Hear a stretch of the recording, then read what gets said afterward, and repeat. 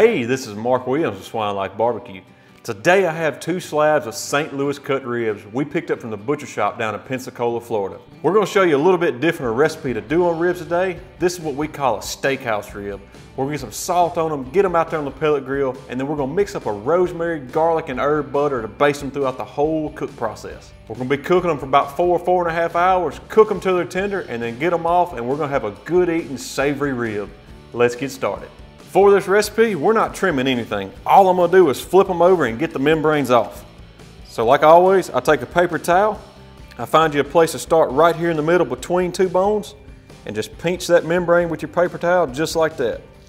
Work your finger all the way underneath, and then pull it off. Spare ribs a little bit more difficult to pull than loin backs. Just take your time and get as much of that membrane off as you can.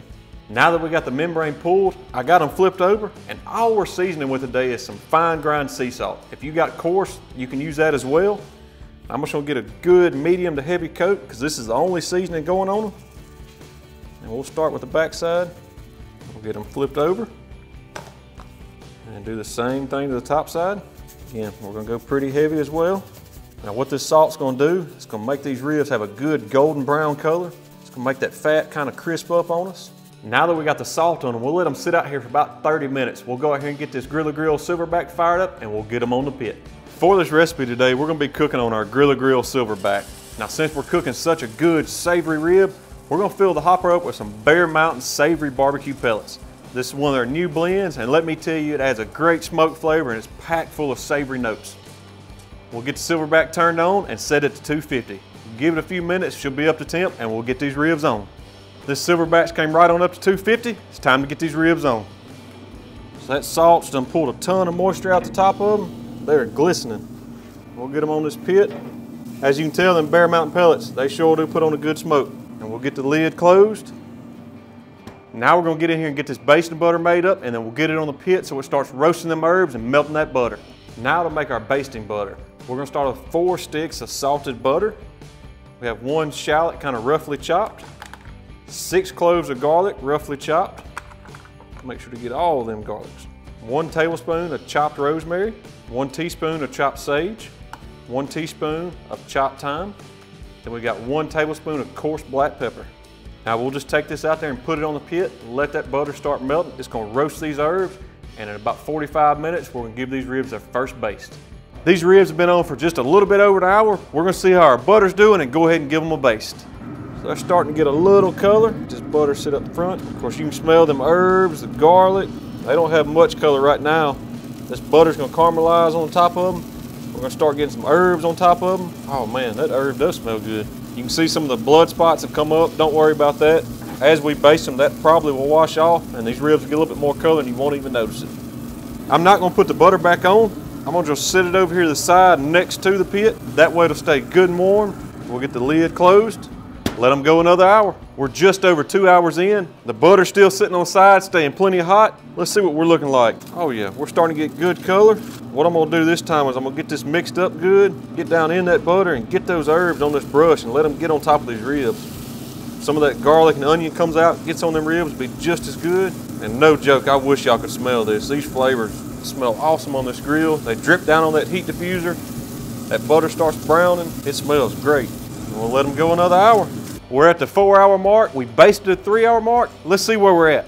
As you can tell, we got some great color. Those herbs really had a good texture. Great appearance of these ribs. We'll get them one more baste. Throughout the whole cook process, that's all we're doing is just layering flavors. We only started with salt. We brought all the flavor at the end and during the cook process, just a layer on at a time. While we're in here, we'll go ahead and check doneness, see what they're like. They feel soft, temping probably 202, 203. They feel good. We'll let this base set up, go about another 20 or 30 minutes, and then we're getting them off, getting them on the cutting board. After four and a half hours, we got these ribs off the pit and placed them here on the cutting board and let them rest for about 15 minutes. Just as a quick recap, we started off with two slabs of St. Louis spare ribs, pulled the membrane, and then seasoned with just salt got them out there on that pit. And while they were on the pit, we got some butter, some garlic, some rosemary, all these good herbs that really bring on that steakhouse flavor. That's one thing I do love about pork is it takes on flavors and works well with anything. You can go from mild to wild. All complements that pork really well. Once we got our butter made up, we placed it on the pit so it can melt and get good and hot. We were basting these ribs about every hour. Now keep eye on that butter. You're welcome to leave it on the pit, but you don't want it to burn. I pulled ours off after the first hour, just kept it on the side of the pit and kept it good and warm. At the four and a half hour mark, these temp about 205. They're good and tender, and I'm ready to dive into these. So I'm gonna have to go for this one up front that's got all that extra garlic on it. We'll scoop this other one off to the side. So we'll start cutting right here on this end. Now these are tender enough you could pull them right apart. But I'm gonna get me a good two bone cut on these. Got great color. Of course, all them herbs really added good texture. We'll take this one out of the middle, see what it looks like. And it's packed full of moisture, got a good color. I'm gonna have to try me a bite of this. I can already tell you. Bone pulls right out, good and tender. Man, that salt really made that pork flavor shine through. And of course, them herbs, they all go with pork. And this is an excellent flavor rib. It's completely different from your standard barbecue rib. You got a clean bone like that, you're starting off on the right foot. I can't get over that flavor. You can tell on the back side of these ribs, that salt really made that fat turn golden brown and super just melt your mouth tender. That's a wrap for us today at Swine Life. We appreciate y'all checking this video out. Y'all gotta try this recipe. It's a completely different twist on a good eating pork rib. If you ain't already noticed, we had to take a little break and get us a little pile of bones going ourselves. The camera lady was giving me the look. She had to try some of these ribs. If y'all got any questions, shoot us a message on Facebook or Instagram. And as always, like and subscribe to the channel and we'll see y'all next time.